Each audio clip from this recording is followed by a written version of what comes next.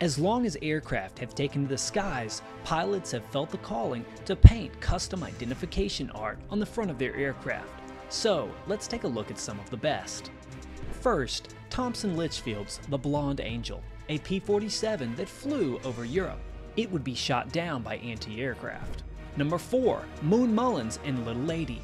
This beautiful P 51 would take down a Focke-Wulf 190.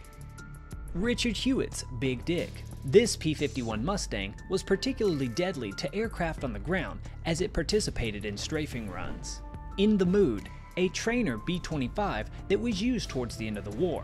It is still flyable today. And finally, Shoo Shoo Shoo Baby, a famous B 17 that would be recovered after the war and fully restored. Please consider subscribing.